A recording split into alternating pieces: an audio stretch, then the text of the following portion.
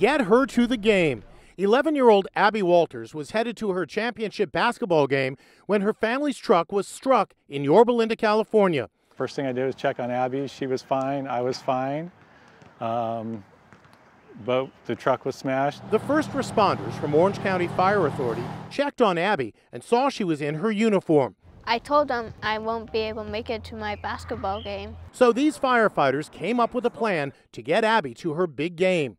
They took her in the back of the fire truck. So we kind of looked at each other, had a little discussion, and um, offered her and her mom a ride to the game so that she could make it to the game on time. Not only did Abby make it on time thanks to these hero firefighters, but her team won. Hey. Today, Abby is making a very special thank you at the fire station. Thank you so much. All right. They posed for photos, and Abby had them sign her jersey.